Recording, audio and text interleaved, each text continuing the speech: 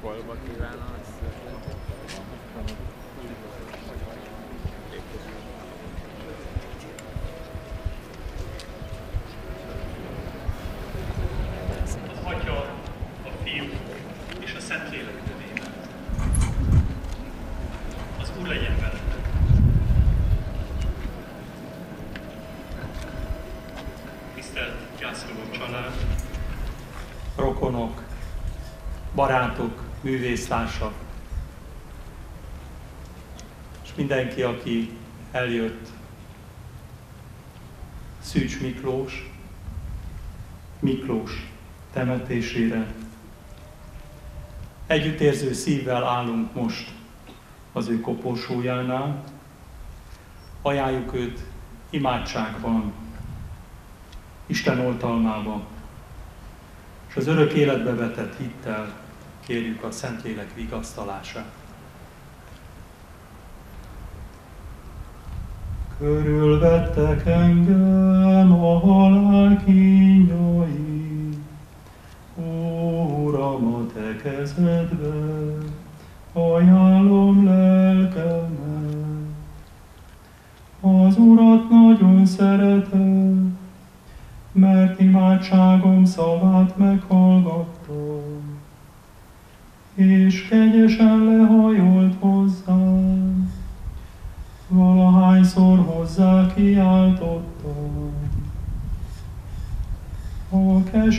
keserűség és fájdalom szorongatott engem, én azonban segítségül hívtam az Úr nevét. Istenem, mest meg az én lelkemet. Mert irgalmas az Úr és igaz, könyörül a mi Istenünk. Én lelkem nyugodjál meg immár, mert az Úr gondot visel.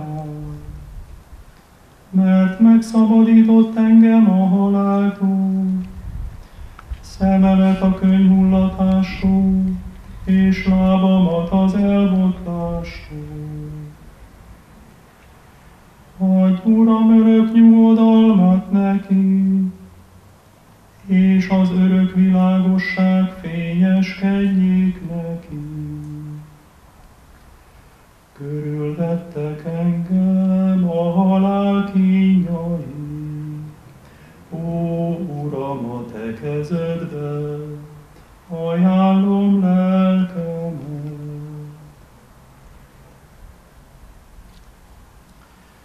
Istenbe vetett hittel és nyitott szívvel hallgassuk meg Isten igéjét Szent János evangélista írása szerint.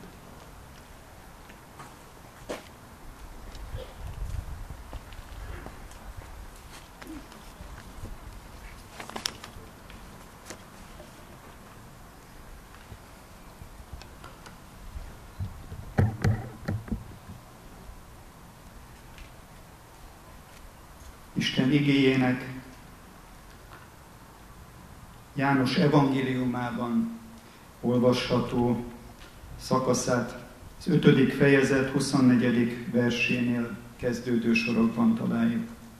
Jézus mondja, bizony, bizony mondom nektek, aki hallgatja szavamat és hisz abban, aki küldött engem, annak örök élete van. Nem megy ítéletre, hanem már átment a halálból az életbe. Bizony, bizony mondom nektek, hogy eljön az óra, sőt már itt van, amikor a halottak meghallják Isten fiának a hangját, és akik meghallják, élni fognak. Ez az Isten igéje. Kedves Erzsébet, Eszter, Juli, Anna és Nóra. Kedves gyászoló család, és mind, akik ismertétek és szerettétek Miklós testvérünket. Miklós testvérünk az írás szerint átment a halálból az életbe. Nem az életből a halálba, hanem a halálból az életbe ment át. Mi is itt minnyáján arra vagyunk hivatva, hogy Isten igéjét hallgatva, Miklós képeit, tipográfiáit szemlélve, Krisztussal együtt átmenjünk a halálból az életbe.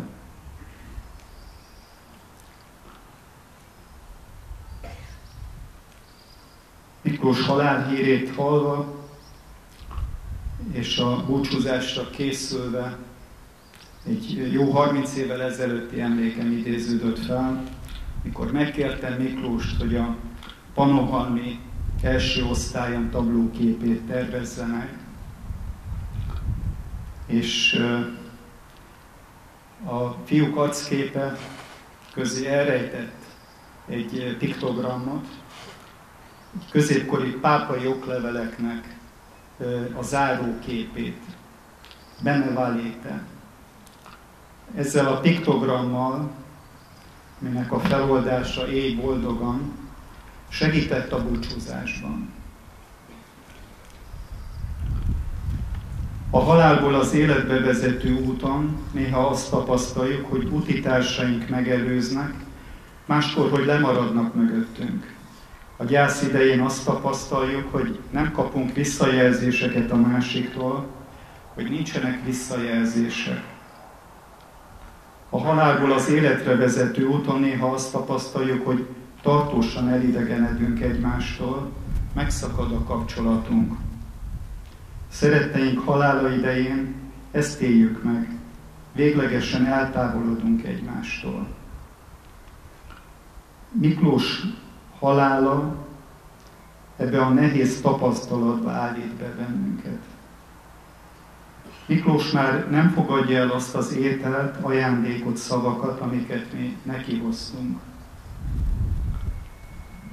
A halálból az életre vezető úton gyakran tapasztalom önmagamban és utitársaimban, hogy halogatjuk a megtérésünket, halogatjuk döntéseinket, hogy halogatjuk a legfontosabb látogatásokat, szavakat és gesztusokat. A halálból az életbe vezető úton, az út innenső szakaszán, a földi életben van, mikor halogatunk, és van, mikor hallgatunk. Mégis időről időre képessé válunk meghallgatni testvérünket, házastársunkat, gyermekeinket és unokáinkat. A halottak többé már nem halogatnak, hanem hallgatnak, oda hallgatnak. Jézus a halálunk után történő folyamatokról egyértelműen azt mondta, bizony, bizony mondom nektek, hogy eljön az óra, sőt már itt van, amikor a halottak meghallják Isten fiának a hangját, és akik meghallják, élni fognak. Tehát nincs már többi halogatás, csak hallgatás, mély figyelem, odahallgatás van. Az ige hallgatója az ige által, ige által formálódik Krisztus képmásává, halló, látó emberré, az örök élet polgárává. Igen, azokat a szavakat, amiket mi neki hoztunk, már nem fogadja. Azok már, azokra már nem válaszol. Azonban azok az igék, amiket Krisztus érte üdvösségünkért kimondott, azok Miklós testvérünket ellenállhatatlanul átformálták, megformálták, és alkalmassá tették őt az örök életre. Miklós halálában alkalmassá vált, hogy Krisztussal kapcsolatra lépjen, vele beszélgessen. Megboldogult Miklós, és közöttünk a feltámad Krisztusba vetett hit teremt és formál közössége. Krisztus táplálja bennünk a kiengesztelődést és az Isten országába való találkozás reményét. Tudom, hogy az én megváltóm él, és utoljára megáll porom fölött. Krisztus legyen a mi reményünk, aki megszületett értünk, hogy osztozzon életünkben, szenvedett értünk, hogy osztozzon fájdalmunkban, meghalt értünk, hogy Istenhez vezessen, és feltámadt értünk, hogy itt, Miklós koporsójánál állva, mi is reményben maradjunk. mielőtt elengedjük Miklós testvérünk testét a földre, búcsúzzunk el tőle Krisztus Urunk tanítása szerint. Ha védkezett ellenünk, bocsássunk meg neki. Ha mi védkeztünk ellene, bocsásson meg nekünk az Isten. Ha szeretetet kaptunk tőle, legyünk érte hálásak. Ha szerettük őt, bízzuk rá Istenre, hogy a szeretet a síron túl is összekössön minket. Mikor hamarosan visszatérünk az életbe, ne felejtjük el halottainkat, akik előttünk elmentek. Mert Isten akaratából ők emlékeztetnek minket arra, hogy hová tart az életünk. Hogy ne csak a láthatókra nézzünk, hanem a láthatatlanokra. Mert a láthatók ideig valók, de a láthatatlanok örökké valók.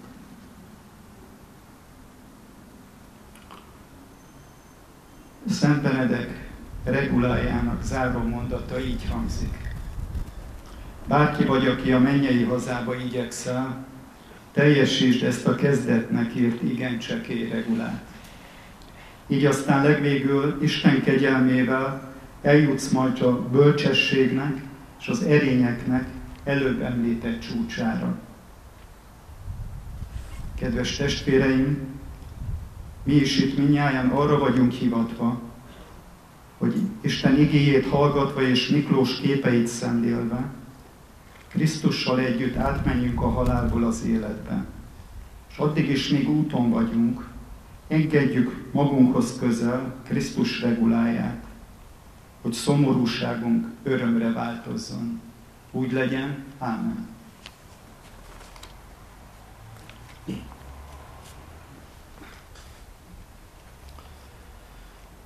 Mennyország örömébe vigyenek az angyalok, és az egykorú szegény Lázárra életed legyen mindörökké.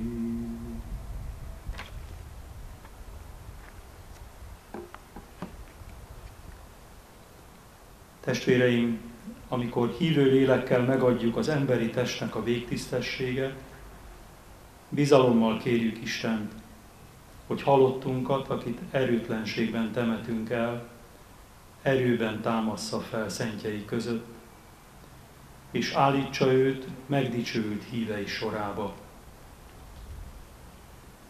Miután megszabadult a haláltól és elnyerte bűnei bocsánatát, irgalmazzon neki az ítélet napján, és fogadja vissza atyai szeretetébe.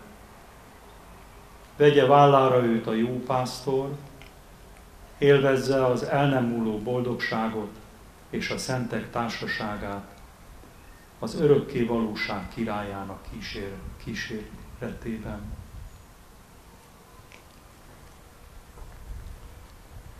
Stágas szívvel hallgassuk meg a család, barátok, művésztársak búcsúzó szavait.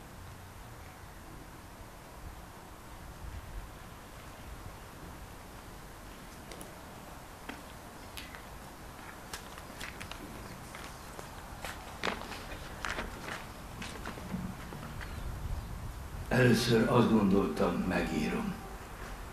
Aztán, hogy fejből mondom, aztán, hogy mégis jobb papíron, nehogy túl találjam lépni az időt, amiből már 15 másodpercet elhasználtam. Két és fél perc búcsú vignetta, épp csak egy intés, tenyérnyi cetli, szavakkal mennyiben lehet festőt temetni. Pereg egy gazdag, hosszú film, Winterreise időtlen nyárban.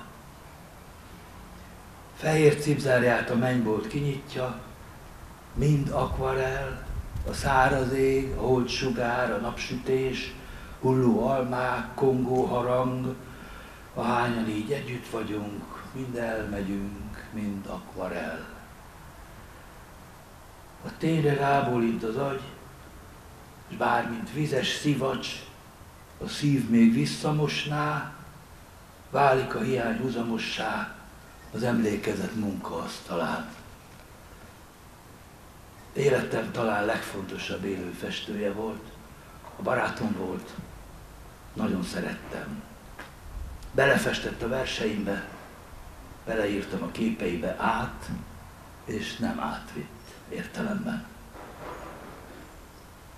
Tegnap a honlapján nem találok csak fekete betűket, 500 belső szerver hiba, mintha az örök létre most kéne átállítódnia. Ne beszélj sokat, mondaná. Holott szerette, ha beszélni róla, mind aki tud és imád élni, egy melankohedonista. Nem fogok, mondanám, mármint sokat beszélni. A legrövidebb temetési beszéd az lett volna, ha nem halsz meg. Ég hagytad a folyosón a villanyt, minden világos, még sincs nappal, még hogy egy szög, nem figurális. De mindezt majd még megírom pontosabban, amíg és ahogy lehet. Miklós, Isten veled.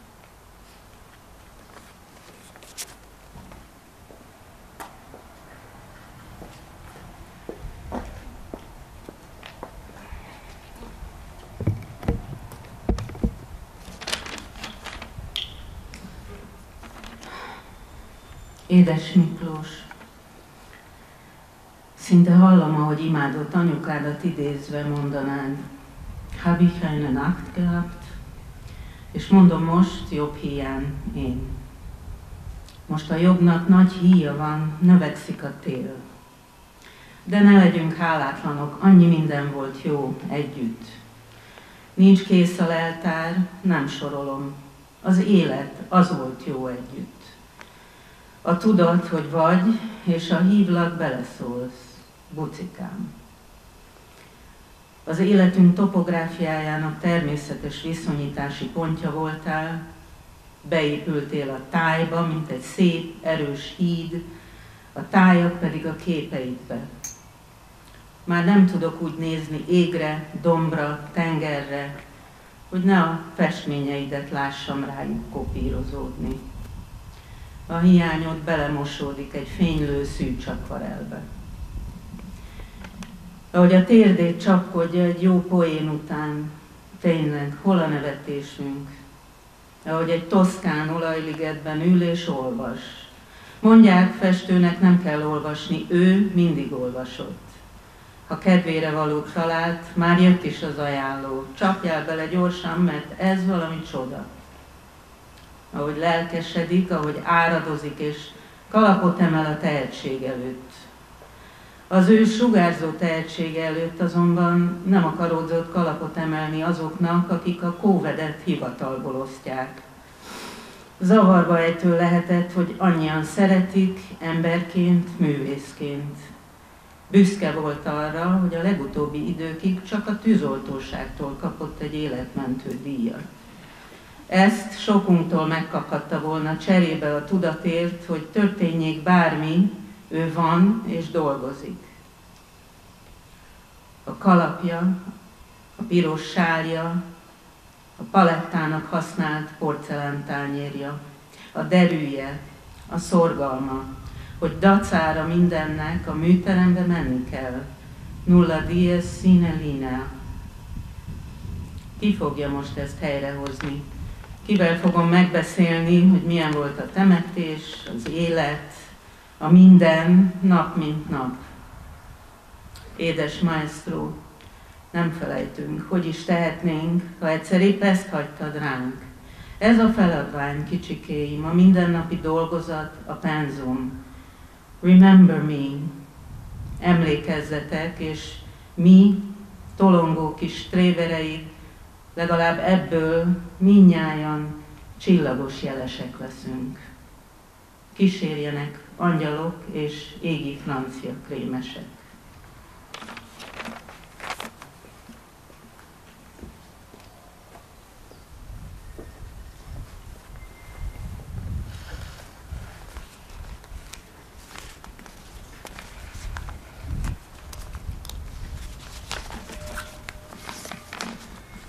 A búcsú perceiben annak a régi tanárnőnek a rigumusa jár a fejemben, tán még valami háború előtti reggeli imából való, amelyet Miklós úgy idéz föl, hogy memoárja címébe is emeli. Az élet szép és élni jó, a földön élni ünnepé. Hát, elég meredek.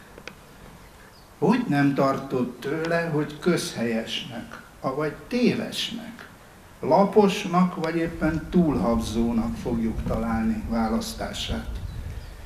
Mert hát az élet nem, hogy nem folyton ünnepé, de még csak nem is mindennapos öröm. Nem szólva a más imágba foglalt síralombölgyről. Drágám, de hát ez költészet, mondhatná erre. Nektek magyarázzam a nem szó szerinti jelentést. Miközben hát, ha mégis makacsul komolyan gondolja ennek az állításnak a tágas életörömét. Sok mindent fölidézhetnék, ami ővele szép volt, jó, vagy még ünnepi is. De most itt édesanyjának a temetése is eszembe jut. Homályba vész már Miklós mit hogyan intézett, és talán felváltva mondtak el a szerzetes atyával egy imát. Az a szertartás mégis úgy felelt meg a liturgiának, hogy személyes volt. Az ő ízlésük szerint volt rájuk szabva rokon szembesen. Hogyan voltak képesek ővele az ünnepi fölmutatási alkalmak is, a köznapi otthoniak, vagy az útközbeniek is ennyire vonzóak lenni, annyi örömöt nyújtani. Nyilván alkotó művészetének egyszeri csodája, és egyben személyes jelenlétének varázsa révén. De hát ez még csak a kájha nem a válasz. Szűcs Miklós lenyűgöző képei a műtermekkel, lakásaink falaival, a kiállítási terekkel, sokszor pedig a hozzájuk vezető utazásokkal együtt idéződnek föl emlékeimben. Közös élményünk, hogy évtizedeken át Miklósnak és Erzsébetnek vannak a legnagyszerűbb kiállítási alkalmaik, ahová örömmel kísérjük el őket, mondunk megnyitó szavakat is, ha kell. Sose felejtem el, mennyire izgultam először a Vigadóban 91-ben. És mit nem adnék megint olyan izgalomért, mint amikor a Kiscelli templom térben, vagy Stuttgartban kellett okoskodnom friss képeinek színe előtt. Milyen jó emlékezni a közös győri vagy pannonhalmi kirándulásokra, meg szarvasra, ahol aztán beültünk a termálvízbe. Na és a Bartók 32-ben a Winter. Micsoda buli volt utána. És az az este a Nemzeti Színház festőműhelyében, meg hát a Miklós által szervezett Nemzeti Búcsúest 13-ban. De most már csak a múlt év szeptemberi, Vojnicsa a közös kiállítást mondom, a Stregova utcai Artusban, ahol még jó sokáig ücsörögtünk együtt. Miklós most elmegy.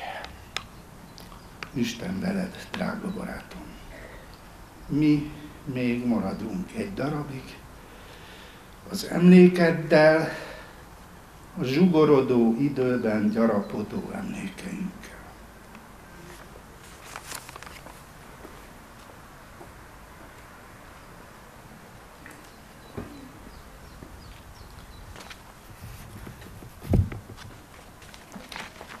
Most uh, Szabó Marcelnek kellene beszélnie, de az utolsó pillanatban kiderült, hogy mégsem tud eljönni, úgyhogy én megpróbálom felolvasni a beszédét. Sosem láttam sietni. Késésben igen, de sietni, kapkodni soha. Ez akkor is így esett, ha éppen autóban ült és nagy sebességgel közlekedett. Bár évekig jártam vele hajnalonta úszni, elképzelni sem tudtam, nem hogy futni, de az sem, hogy szaporázza a lépteit. Hiányoztak belőle az erősen szándékolt mozdulatok. Mert bármelyik ponton eltérülhettek, rájöhettek valódi és újabb rendeltetésükre. Miklósban mégsem szorult semmi lusta, tohonya vagy pegyhűt.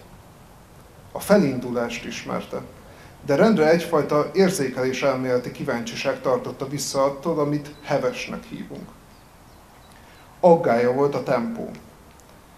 Ennek a mozgásformába öltözött észjárásnak a megtapasztalásához elég volt megszólítani, és nyomban kiderült, milyen bámulatosan sebesen felhúzza, megépíti bárhol a beszélgetés látható és láthatatlan építményeit.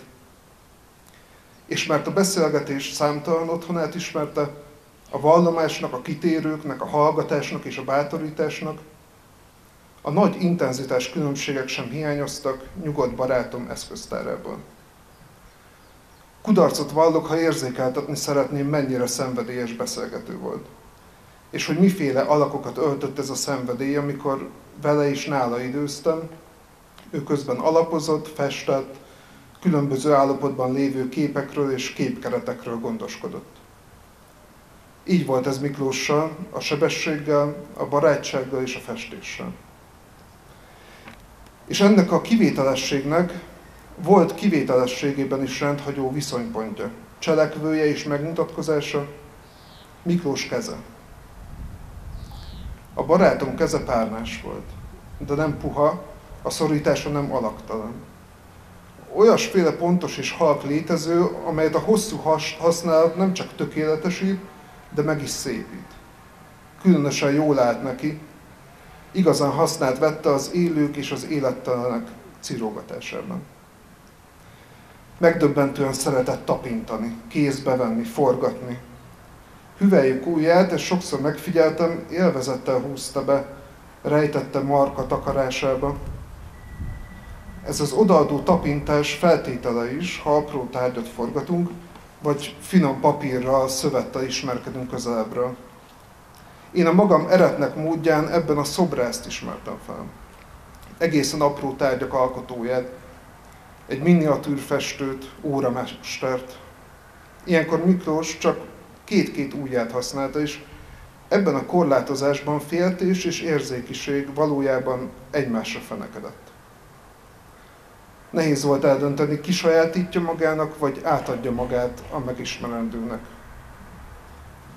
Volt Miklósnak egy visszatérő kérdése, nem is az övé volt, rendszeresen neki szegezték. Ami egyszerre bosszantotta és izgatta, de nem tudott szabadulni tőle. Banalitásában szeretett volna méltó választ adni rá. Úgy megválaszolni, hogy ne lehessen föltenni többé. Kisiklatni a lehetőségét is, hogy ilyen szamárságot gondoljanak. Hülye kérdésre szeretett volna brilliáns választ adni. A kérdés pedig úgy hangzott, hogy miért nincs a képeim emberi alak. De okos lényével Miklós egyre kevésbé tart ellen ennek a butaságnak. Nem tudom nem hozzátenni. Nem egy ilyen hiányos tájban állunk? Nem ilyen kép egy temetés? A temetés, mint tájkép. Miközben több alak már nem is férne ide, nincs is más rajta, csak alakok. Alakbőség. A csoportkép, amiben most állunk, többek között ezt is átalakítja. Hiába az alakok, attól még nem lesz alak a képen. Nem úgy van megcsinálva. Nem igazán áll senki magában. Nem kivehető, miközben a gomolygásból nem lesznek gomolygások. Többes és egyes szám különösen beszédképtelenek. Kivehető azonban, körvonalazódik, alkalomhoz illően elválik, akit ez a temetéstáj olyannyira fájlal. Ez a kirajzolódás mutatja, hogy hiányzik a képről egy alak. Legyünk pontosabbak, hiányzik a képnek ez az alak. Miklós hiányzik neki. Drága barátom, Isten veled!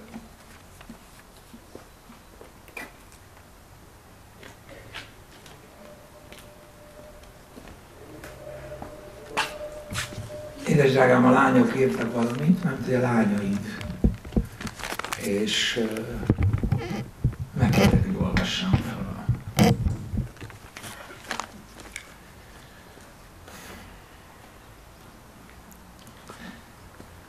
Papa te vagy az egyetlen, akinek tudom a telefonszámát fejből.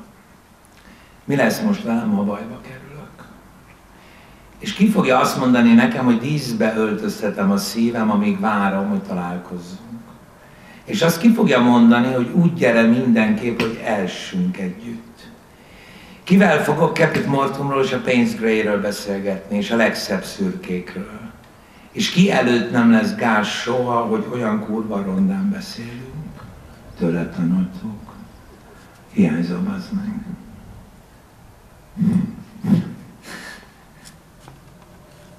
Olyan jó lenne egyszer még elmenni veled Triestbe, és esküszöm minden sarkon kapnál egy fagyit, és megint elmennék Osszonába. És most már tudnánk, melyik kabinban legközelebb a lépcsőz a tengerbe, és még árnyék is van, mert ugye nem kell újítani.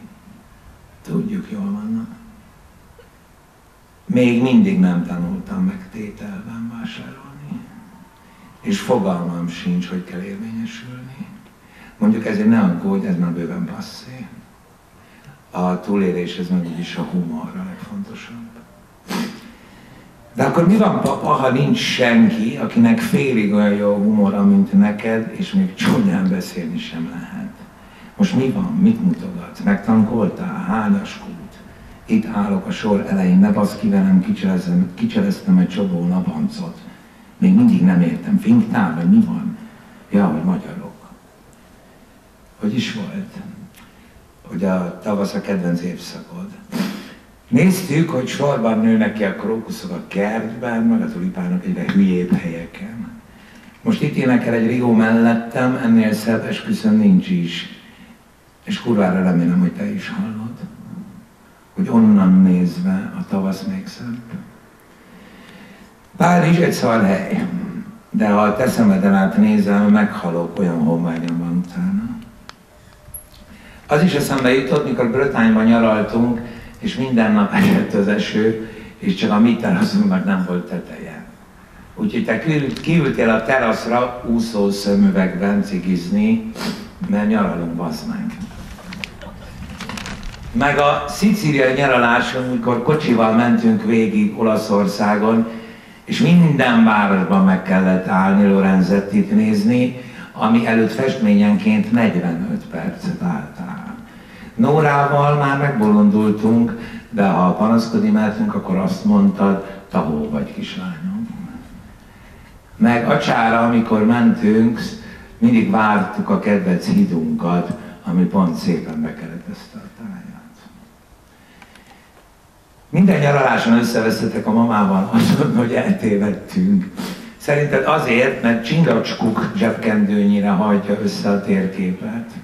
És minden körforgalomnál háromszor mentünk körbe, ameddig a mama kitalálta, hogy merre menjünk. De meg mondtad, hogy hát végül is ezt is lehet, hogy itt körözünk körökre. Ja, meg hogy a tenger a szerelem.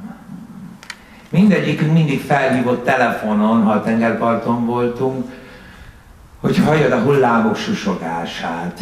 És te is mindig felhívtál minket, ha te mentél. Az autós nyaralásokat is tőle tanultam, soha nem fogok vezetni, de hogy hosszú autóútra menni jó, amikor tök fáradtan éjjel megállunk egy szar kávéra a benzinkúton, vagy aludni egy fél órát Párizsban egy parkolóban, mielőtt elindulunk, és te egy seggel levezetsz hazáig. És persze volt, amikor beragadt egy DS CD a kocsiba, és mire hazaértünk, már mindketten tudtuk kívülről, ahogy a stopposok is, akiket az odafelé úton vittél el a Budaörsi Agyib úttól Szábrückering. A legeslegfontosabb, amit tőled kaptam, azok a testvéreim. És ezt nem csak én kaptam, hanem a gyerekeim is. Ez a legnagyobb ajándék, és most itt állunk egymás mellett. Tőled kaptam az ünnepeket is, a karácsonyt, amit a leges legjobban csináltál, az igazi varázslatot. Nem voltál ajándékban annyira jó, mint a krajó, de a várakozást és a csodát a legjobban csináltad. A húsvét is szép volt, és imádtam a kertben keresni, csak a kurva hosszú misék ne lettek volna, az de komolyan vetted, az meg. A templom éneklésért hálás vagyok, meg hogy bármilyen szent helyre be tudok menni, mert van egy hely, ahol otthon vagyok a világban, még ha meg annyi képmutatást is láttam benne. A komoly zene és az éneklés, éneklés a kocsiban, az de jó volt. Amikor a bogárral a hatalmas hóban mentünk zsennyére, és termoszból ittuk a teát. És én is számíthattam rád, pedig igyekeztem elkerülni ezeket a helyzeteket, de többször is megmentettél. Szava drágám, szia papa, nem rosszkod, dehogy, te sosem rosszkor. Figyelj, csak azért hívlak, hogy ne lepődj meg, be kell ugranom valamit elhozni az Ulászló pincéből, de van kulcsom, csak nem akartam rátörni. Jó, jó, persze, de azért egy kávéra csak följössz, meg elszívunk egy cigit, nem? Fölmegyek?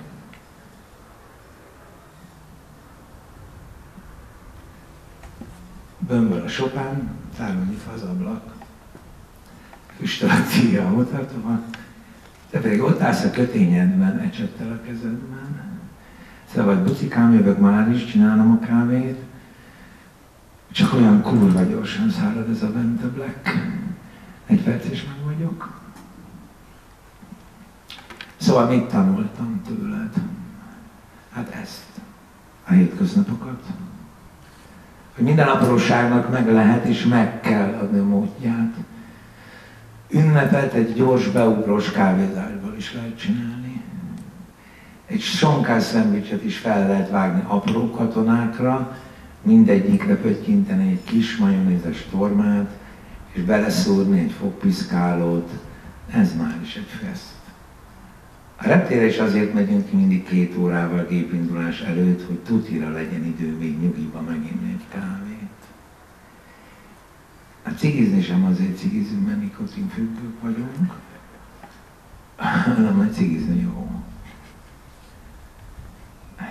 Főleg, hogy te cigiztél. Na. Nehezen engedtünk el itt a végén, ezért ne haragudj ránk. Össze megint minket, és mennyit sírtunk, és mennyit nevettünk. Köszönöm a halálodat is, a haldoklásodat, papa, és mindent, amit úgy is tudsz, és el se kell mondanom. Szia, papa!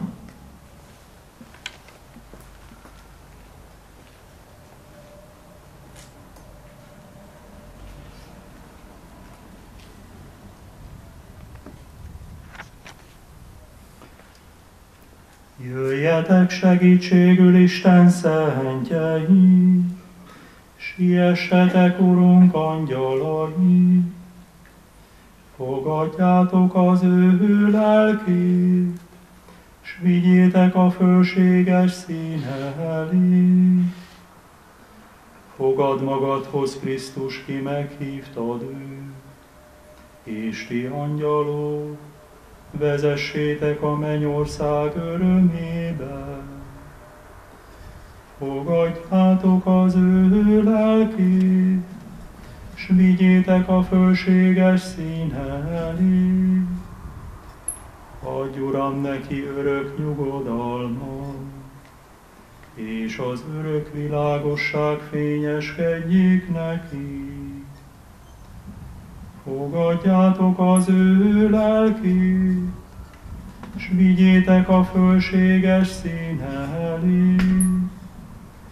Jöjjetek segítségül Isten szentjei, siessetek, Urunk, angyalai, fogadjátok az ő lelkét, s vigyétek a fölséges színe elé.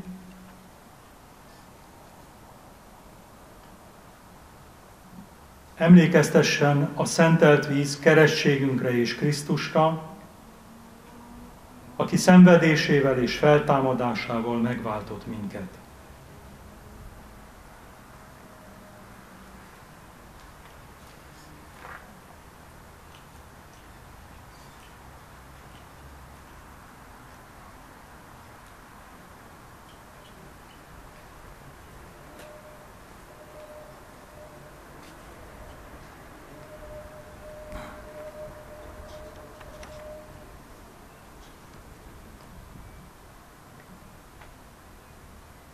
Imádkozzunk együtt Istenhez, miként a mi Úrunk Jézus tanított bennünket imádkozni. Mi atyánk, aki a mennyekben vagy, szenteltessék meg a te neved. Jöjjön el a te országod, legyen meg a te akaratod, amint a földön, úgy a mennyben is. Minden napi kenyerünket add meg nekünk ma, és bocsásd meg védkeinket, miképpen mi is megbocsátunk az ellenünk védkezőknek. És ne vigy minket kísértésbe, de szabadíts meg a gonosztól, mert tiéd az ország, a hatalom és a dicsőség mindörökkön örökké. Urunk Istenünk, irgalmadba ajánljuk Miklós testvérünk lelkét, hogy a világnak meghalva neked éljen. Emberi gyarlóságból elkövetett bűneit töröld el jóságosan, Krisztus, ami Urunk által. Most fájdalommal, de Isten akaratában megnyugodva, és a feltámadás reményében kísérjük halottunkat utolsó útján nyugvó helyére. Útközben imádkozva ajánljuk őt, mennyei atyánk végtelen irgalmába.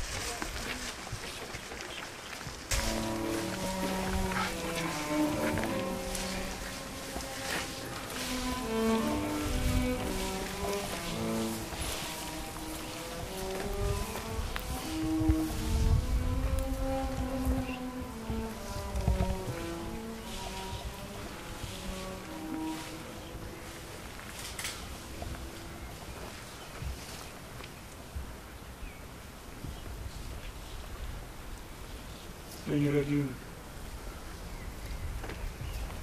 Urunk Jézus Krisztus, Te három napon át sírban nyugodtál, és ezzel megszentelted híveid sírját. Ezért a sírbatétel számunkra nem csak a test nevetése, hanem növeli bennünk a feltámadás reményét is. Hát, hogy Miklós testvérünk, akit most eltemetünk, békességben nyugodjék mindaddig, amíg majd életre kelted a feltámadás napján, mert te vagy, a feltámadás és az élet. Engedd, hogy a mennyei örök világosságot a te tündöklő arcodon lássa meg, aki élsz és uralkodol mindörökkön örökké.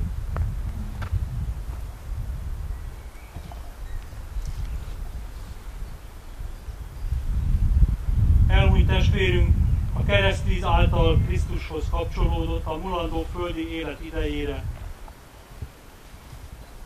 Megváltunk jósága engedje, hogy dicsőséges feltámadásában is részesüljön az utolsó napon.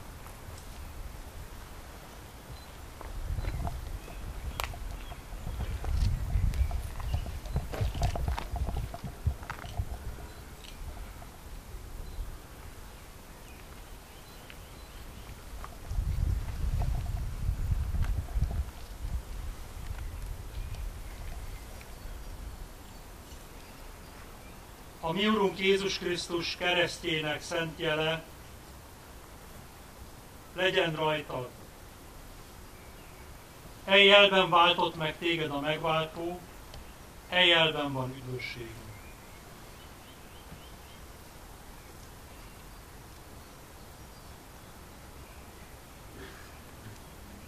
Porból lettél, és visszatérsz a porba, de Isten feltámaszt téged az utolsó napon, béke veled.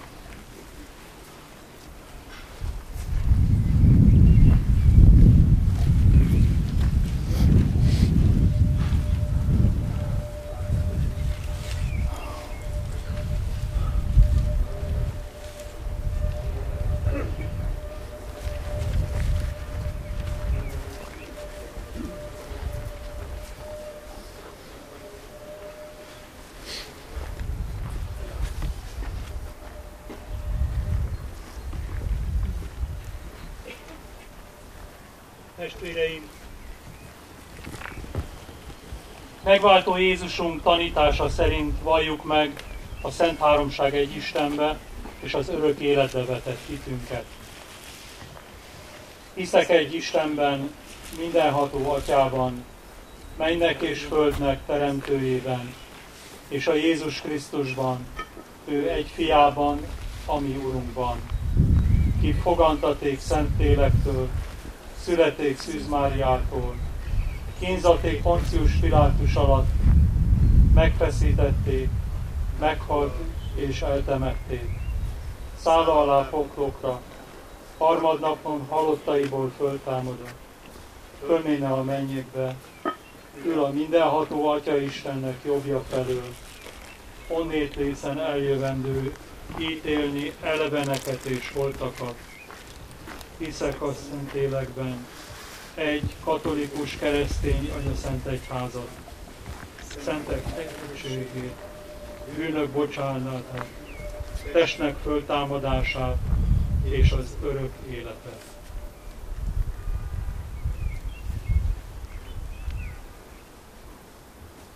Mindenható örök Isten, élők és holtak ura, te megkönyörülsz mindazokon, akikről tudod, hogy hitük és jó cselekedeteik által a tieid lesznek.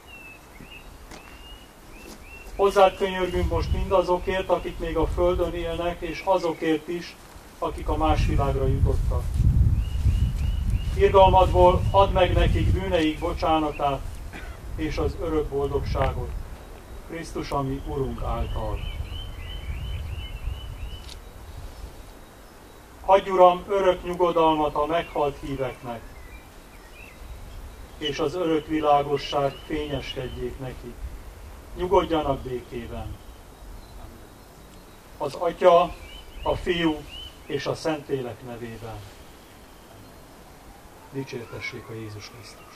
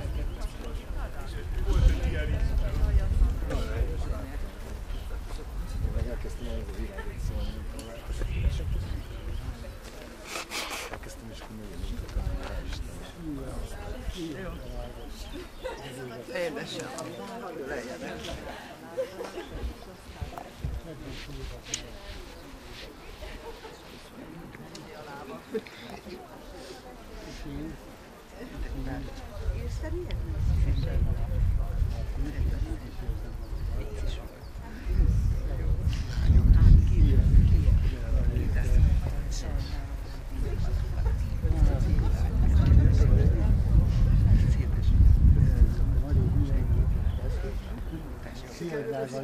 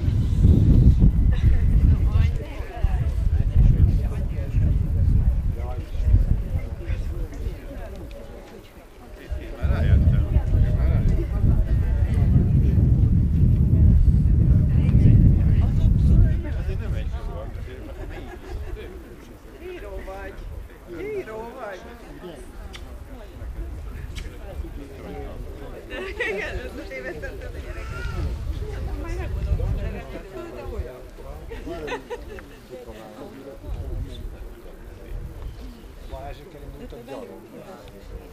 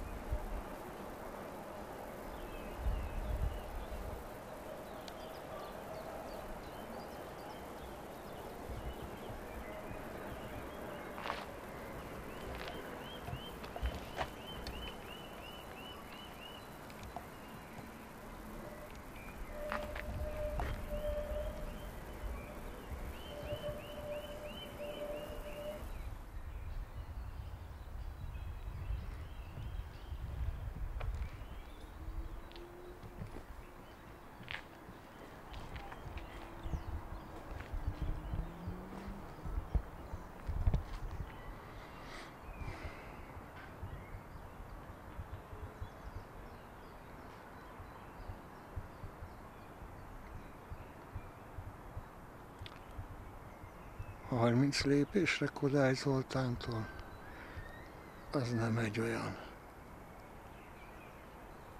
rossz dolog.